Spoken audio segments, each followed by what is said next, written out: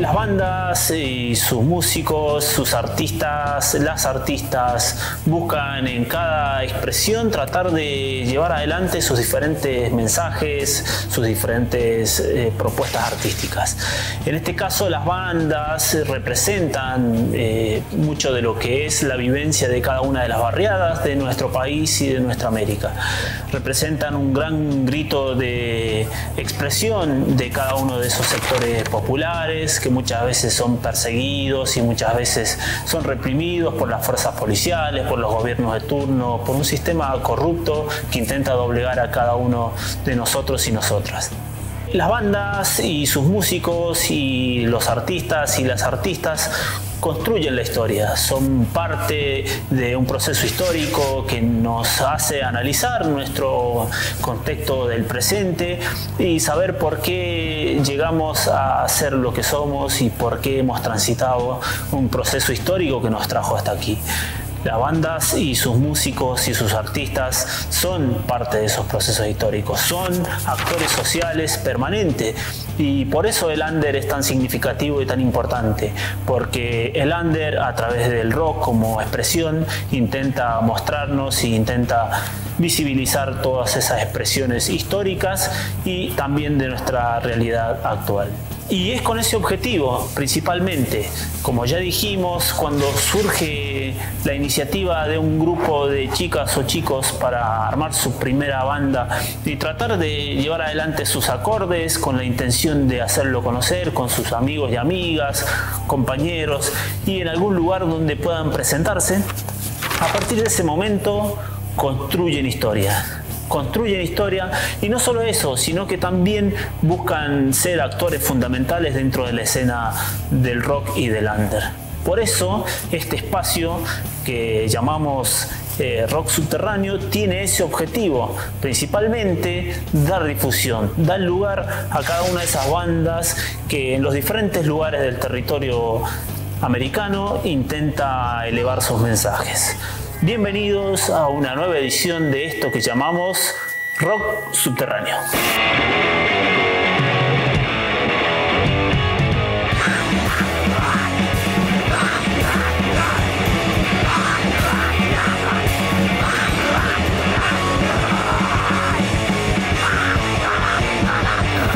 Dar inicio ya a la difusión, a este espacio de difusión de las diferentes bandas, em, siempre hacemos un recorrido por diferentes géneros. Partimos de, casi siempre de géneros un poquito más like y vamos elevando el nivel de sonido y brutalidad y siempre cerramos con algunas bandas más potentes. Como ya dijimos, el rock tiene innumerables géneros, innumerables géneros, y cada propuesta y cada banda tiene una característica particular, y esa característica particular es lo que le da la identidad propia de cada banda. En este caso vamos a hablar de una banda que hace punk rock y que son de la provincia de Neuquén. Esta banda ya tiene un par de años trabajando, desde el año 2017 cuando surgió como un grupo de amigos que, como toda banda, unen sus fuerzas para empezar a hacer sus primeros acordes, sus primeros covers y ahí darle forma a lo que va a ser esta banda llamada Los Picapiedras. Picapiedras. Picapiedras Punk, así lo van a encontrar en sus redes sociales. Es una banda que nace, eh, como ya dije, en el año 2017, está integrada por Erwin Alegría en guitarra, Miguel Valdebenito en batería y coros y el Cheche Buenufil en bajo y voz. Este trío componen lo que son Picapiedras Punk, una banda de Neuquén Capital eh, que recorre los diferentes suburbios, rincones y lugares donde se permiten eh, el encuentro con amigos, compartir cerveza, y alegría y sobre todo mucho rock. Picapiedras Punk es un trío que ya tiene varias canciones de su propia autoría. Eh, si bien no han logrado grabar su disco de estudio, se encuentran en ese proceso, en ese camino. Han logrado ya materializar mucho de ese esfuerzo propio plasmado en diferentes canciones de su propia autoría y que están próximos a grabar en su disco que por supuesto eh, estará circulando a partir del momento en que logren eh, este, este gran esfuerzo que es grabar un material discográfico ya sabemos, como lo hemos compartido en el programa anterior, eh, mencionando al fanzine como una herramienta de comunicación, los demos son una herramienta de comunicación. Grabar ya sea desde un ensayo en, en la sala de tu casa, donde la banda se junta para ensayar, lo grabás y a partir de ese momento el material empieza a difundir. Por suerte hoy, en nuestra actualidad, tenemos redes sociales, plataformas como de internet donde podemos descargar muchos de esos videos de tocadas en vivo a través de los cuales podemos conocer bandas que presencialmente no podemos ver. Esta banda de punk rock eh, a través de sus canciones expresa sus vivencias personales, de sus miembros, eh, de su grupo de amistades, de amores y frustraciones es muy interesante porque es una banda que denota mucha alegría en su propuesta de punk rock. Eh, a continuación nosotros vamos a compartir eh, un fragmento de un recital eh, que se dio en, la provincia de Neuquén, en la cual ellos se hicieron una presentación. Rescatamos algunas canciones de las cuales, bueno, tuvimos que recortar por el tiempo acotado que tenemos en el programa y que vamos a compartir con todos ustedes partir de este momento a través de la pantalla de Giramundo. Esto es Picapiedras Punk Rock.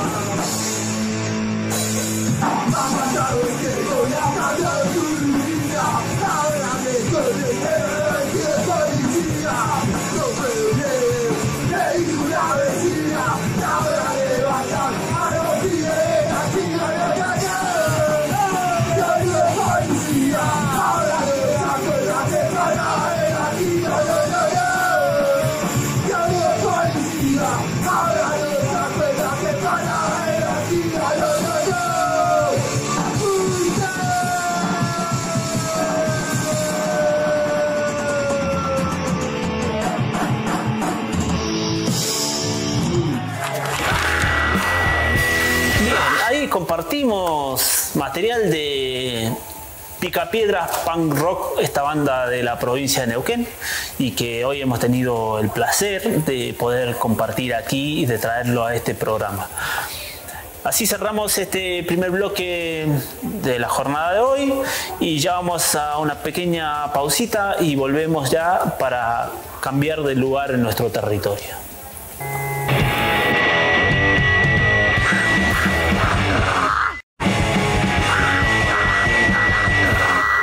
Esta banda en sus inicios nació con el nombre de Fire of Guns en el año 1998.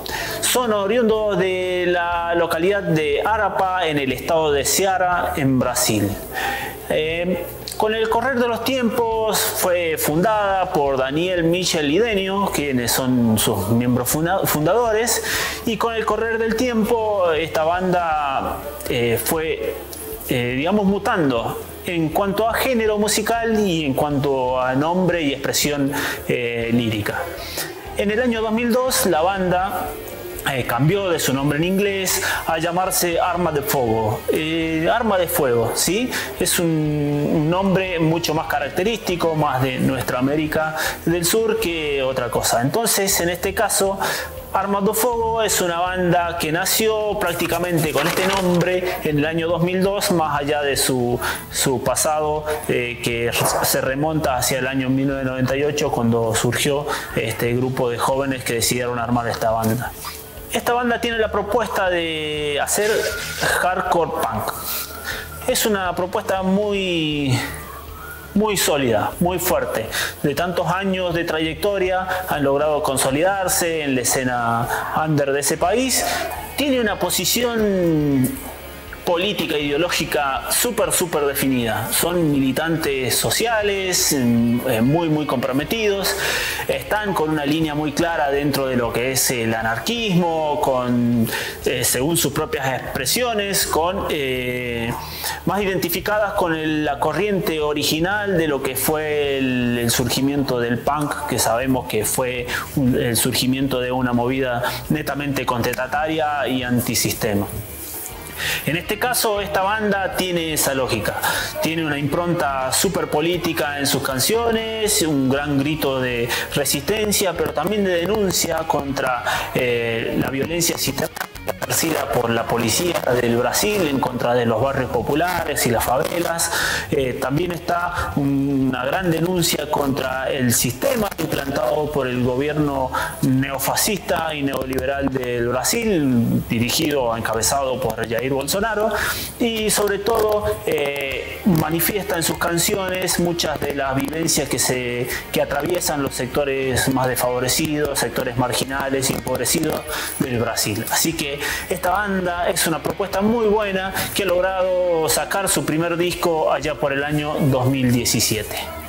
Actualmente esta banda llamada Arma de Fuego, Arma de Fuego, está integrada por Deño, quien está a cargo de las voces, eh, Maxon Ferreira a cargo de la guitarra, eh, Josué Oliver en bajo y Klaus Vasconcelos en batería. Ya para ir cerrando la descripción de de esta banda llamada Arma de Fuego, considerar de que el hardcore punk eh, es, para ellos una herramienta de protesta. Sus consignas están claras eh, y desde su base anarquista buscan la consolidación y la igualdad de una gran masa social que busca un proceso revolucionario. ¿sí? Eso manifestado en sus propias palabras, que dicho proceso revolucionario debe darse por la construcción de, de un poder, un poder que nazca desde abajo y que realmente promueva un acceso a una justicia social y hacia una redistribución más equitativa de los bienes de, que tiene ese poderoso Brasil de nuestra América, ¿sí? que es uno de los territorios más vastos y más extensos de nuestra América. Esta banda Arma de Fuego eh, nos pasó algún material que nosotros vamos a compartir a continuación. Vemos estos videitos, escuchamos esta muy buena banda y volvemos para ya cerrar este bloque, este segundo bloque de este programa de hoy.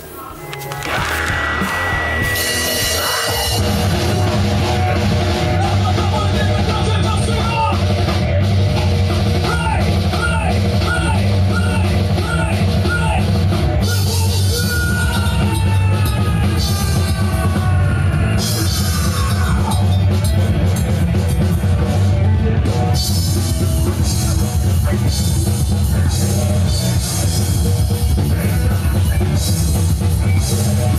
you.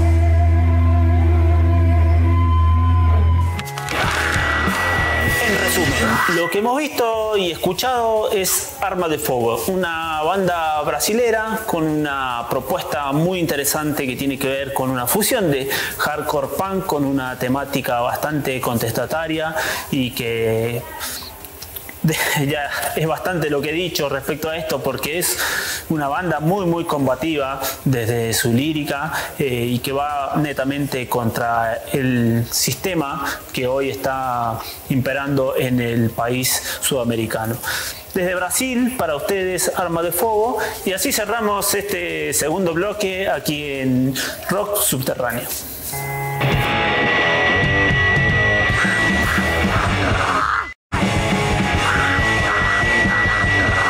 Hemos escuchado esta banda brasilera y ahora vamos a cambiar de lugar en nuestra América.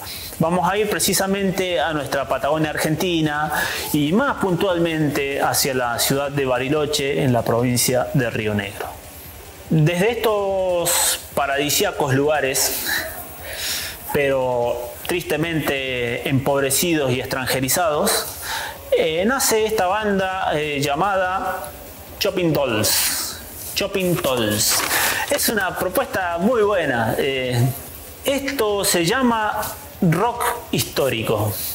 Es un, algo que nos va a llamar la atención. Y sí, nos llama la atención ¿por qué? Porque esta banda fusiona muchos elementos del rock con una lírica, una propuesta temática en sus canciones que tienen mucho que ver con un revisionismo histórico de nuestra América y del mundo. Si bien esta banda no ha logrado aún grabar ningún material de estudio, pero ya cuentan con una gran cantidad de canciones que sobrepasa lo que sería un disco.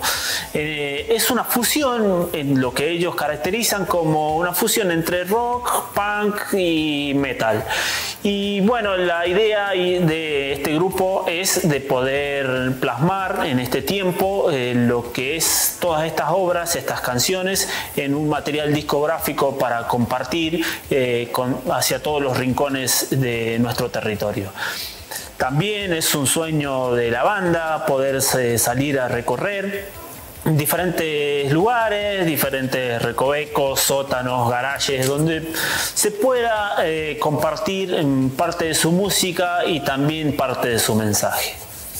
Shopping Tolls es una banda, como ya dijimos, de rock histórico. Actualmente está integrada por Fefo Pérez en voz, por Agustín Merino, quien está a cargo de la batería, Alejandro Bustos, quien eh, hace una guitarra, y Maximiliano Petrazo en la otra guitarra. A ellos se le suma Diego Sobarzo, quien está a cargo del bajo. Así está integrada hoy esta muy buena banda de la ciudad de Bariloche llamada Shopping Tolls. El tema que escucharemos y que veremos a continuación se llama em, Laika versus Lassie.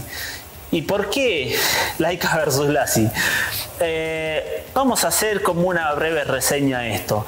Son dos perritas que representan, que nosotros hemos visto en la televisión y que en muchos casos eh, hemos podido leer en libros, enciclopedias y demás. Eh, son dos perritos, dos perritas que representan a dos modelos los modelos eh, sociales, políticos, ideológicos diferentes. ¿sí? Son dos potencias mundiales que durante la Guerra Fría se disputaban la hegemonía del mundo. Estamos hablando de Estados Unidos versus la Unión, la Unión Soviética. ¿Y qué queremos decir con esto? Pues que en esta canción se ve reflejada aquella gran disputa por el dominio del mundo. Y no solo el dominio en el poderío bélico nuclear, en el cual estuvimos al borde de una guerra nuclear, con armamento bélico atómico diseñado para exterminar a toda la humanidad. Eh, no solo eso, sino también con el intento de imponer una hegemonía en cuanto al pensamiento ideológico, dos doctrinas diferentes, dos formas de pensar diferentes dos concepciones políticas diferentes que se disputaban diferentes, los diferentes territorios.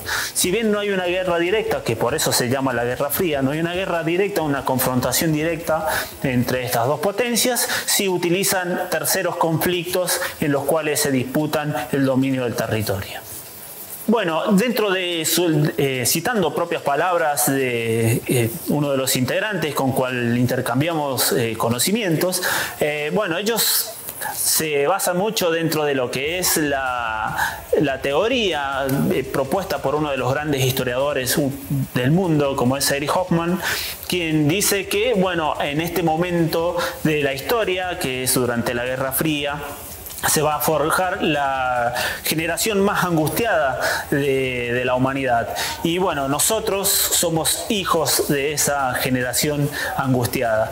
¿Por qué la angustia? Y porque no sabíamos si estábamos al borde de la desaparición de toda la humanidad por una pronta amenaza nuclear, de un conflicto bélico entre estas dos grandes potencias y su carrera armamentística y espacial y demás. La historia de dos perritas Laika versus Lassie. La idea de, a través de, de, esta, de este contenido, mostrarnos o recordarnos o hacer un repaso histórico acerca de cuando la humanidad estuvo al borde del colapso por el enfrentamiento de las dos grandes potencias del mundo que se disputaban la hegemonía del mundo. Y no solo del mundo, sino que a través de la carrera espacial se disputaban la hegemonía de los conocimientos espaciales. Se llama Laika versus Blasi, cuenta eh, la Guerra Fría, ese enfrentamiento eh, ideológico, económico, político, social eh, entre los Estados Unidos y la Unión Soviética, eh, el mundo dividido en dos. Y por un lado, esto está representado con dos perritos, Lassie, un perro que salía en la tele, un perro coli divino, y Laika, una perrita callejera que mandaron al espacio, fue el primer perrito en el espacio. No sé qué querían demostrar, pero bueno, lo hicieron. Pobrecito. Pobrecita. Pobrecita.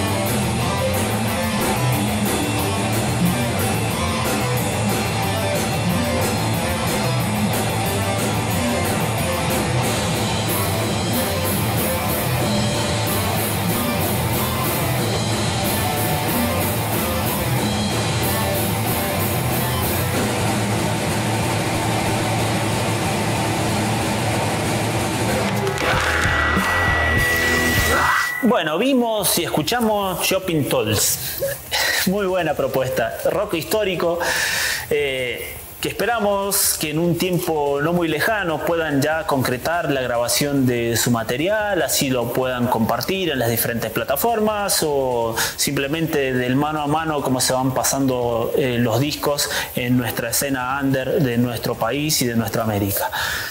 Es un gusto poder encontrar este tipo de contenidos, es un gusto poder...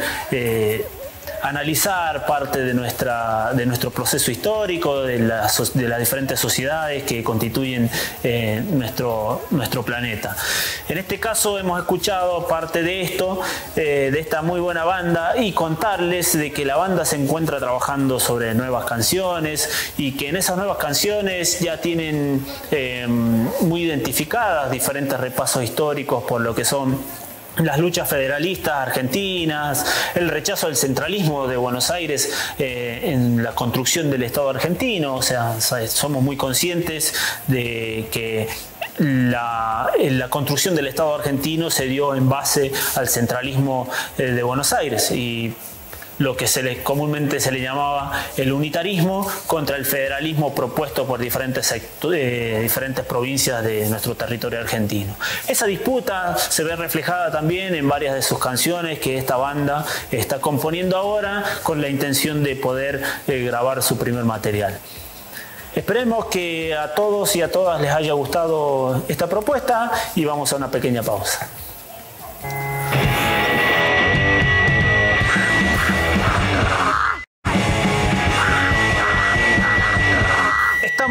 De nuevo aquí en este último bloque y ya nos vamos acercando al cierre. En este caso vamos a hacer un repaso por nuestra historia rockera mendocina. ¿Y qué queremos decir con esto? Mendoza tiene una, una amplia historia eh, en cuanto a su movida under, sus bandas de rock, sus diferentes movimientos y dentro de esos movimientos hay algunas bandas que han logrado trascender hasta nuestros días y otras que han dejado su legado y prácticamente se han separado, pero el legado sigue siendo importante. Esta banda que vamos a compartir a continuación es una banda nacida a finales de los 90 y principios del siglo XXI.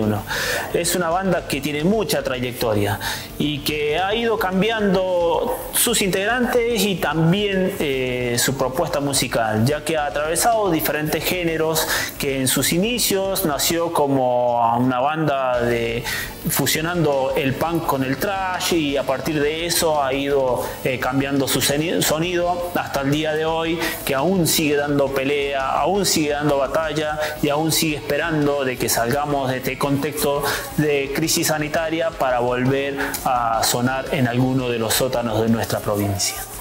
Estamos hablando de Calismosh. Calismosh, una banda que tiene muchos años de trayectoria. Eh, esta banda es uno de los pilares de la escena under, rockera de nuestra provincia. ¿Y por qué pilares? Y por sus años de trayectoria y porque aún hoy siguen sonando. Eh, como ya dije, son innumerables las bandas que en su camino se han desintegrado, han dejado su legado, pero han claudicado en sus formaciones.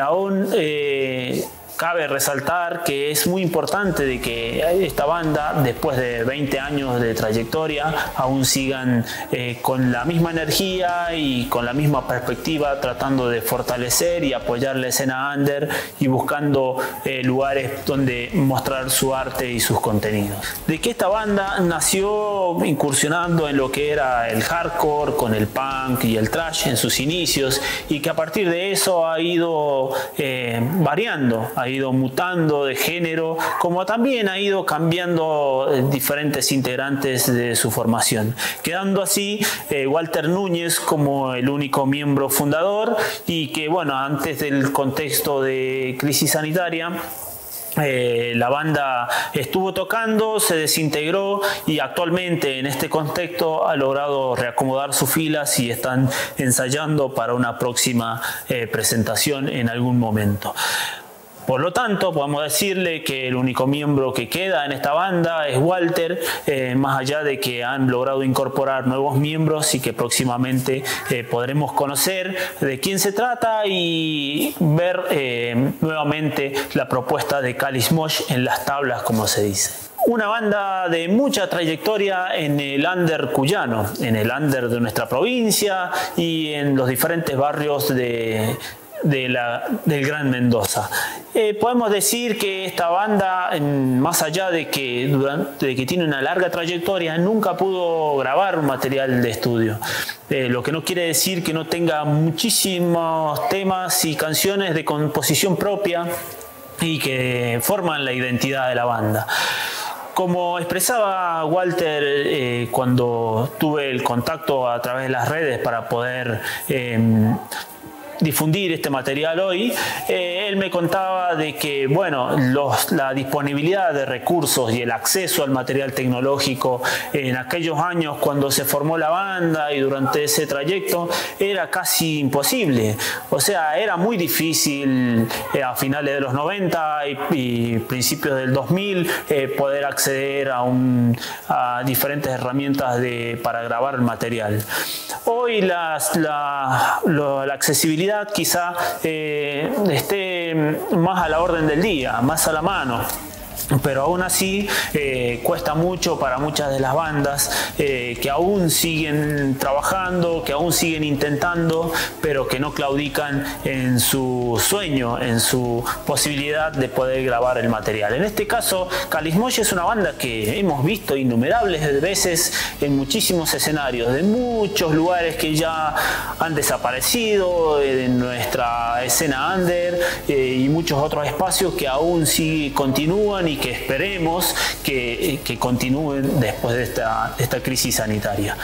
Kalismosh es una banda que ha transformado su sonido desde aquel viejo hardcore punk con fusiones de trash y ha ido incorporando elementos nuevos, eh, incluso eh, hasta hoy nuestros días, en los cuales la banda se identifica más con un death metal melódico, con algunas influencias de black metal. Eh, es una banda que hoy tiene una impronta muy muy potente y muy diferente a la de aquel momento, pero que jamás ha claudicado, jamás ha colgado la guitarra ya ha dicho basta. La banda sigue sonando y la banda seguirá sonando por un largo tiempo más. Bien, así les hemos contado una pequeña partecita de la historia de Mosh, una banda que tiene muchos años dentro de la escena under de nuestra provincia, considerada como podemos decirlo, después de 20 años es un pilar fundamental de la escena under del rock de nuestra provincia. Eh, vamos a compartir algún material en vivo de Calismoya, alguna presentación en alguno de esos espacios em, o bares donde se facilitaban las tocadas eh, y, que las bandas puedan eh, expresar su arte. Espacios que lamentablemente muchos de ellos ya no existen porque si hay algo característico, creo que es em, la intención sistemática de un gobierno que intenta cerrar cada uno de los espacios en donde las bandas pueden mostrar su arte. Pero eso no es un impedimento, porque el under y el rock no desaparecen. Así que para ustedes, Calismosh.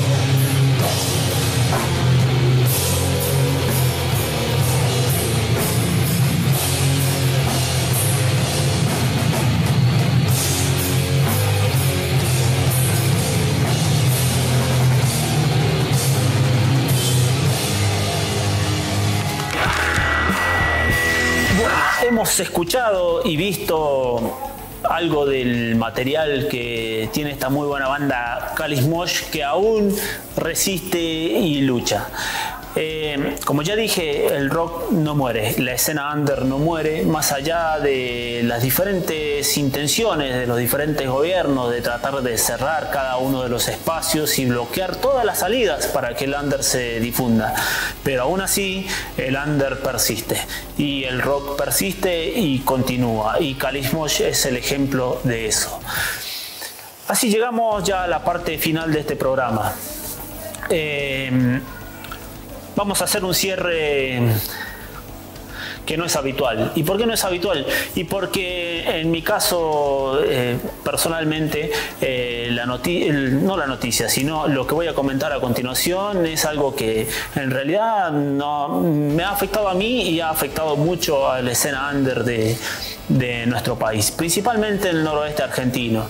En el mes pasado, a mediados de agosto, se dio la desaparición física de este mundo, de quien es uno de los batalladores más importantes de la escena metalera under del norte argentino, principalmente de Salta, eh, quien es Fernando Nava.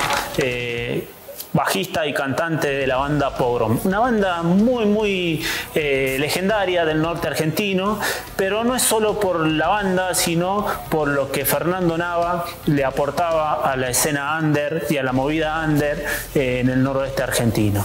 En memoria de Fernando Nava y de su banda Pogrom, cerramos el programa de hoy con un pequeño fragmento de una presentación de Pogrom. Y será hasta el próximo programa.